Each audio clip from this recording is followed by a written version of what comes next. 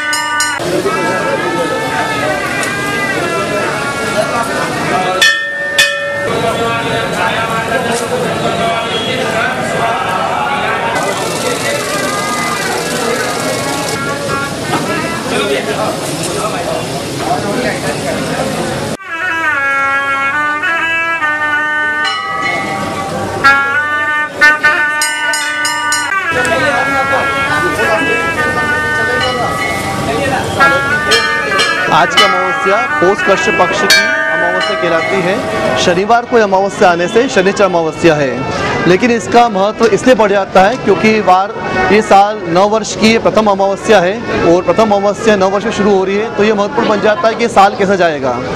जो भी शनि साढ़े साथी, जातक है, जिन्हें ढैया का भाव है, महादशा का भाव है वो जब इस शनिवार के दिन बाबा का तेल अर्पित करेंगे, बाबा का हवन करेंगे, बाबा का पूजन करेंगे, स्नान करेंगे पवित्र नदी में, उन्हें काफ़ी सुख और काफ़ी लाभ प्राप्त होगा। वर्ष में बारह अमावस्या आती महीने के हिसाब से, लेकिन शनिचर अमावस्या बहुत न्यूनतम आती है, कभी चार लेकिन इस वर्ष ये दो अमावस्या, एक आज की अमावस्या है और एक शनि जन्म महोत्सव की अमावस्या होगी। जैसे जिन पर ढैया का भाव है, महादशा है जिन पे, वो आज के दिन बाबा की यहाँ पर हवन करके हमने जो उड़द के लड्डू की प्रसादी बनाई है, हवन में चढ़ाने के लिए, वो यहाँ पर उसकी पूर्णाहुति करके, बाबा का तेल अर्पित करके, बाबा की परिक्रमा अर्पित करें, उसे बहुत सुख प्राप्त होगा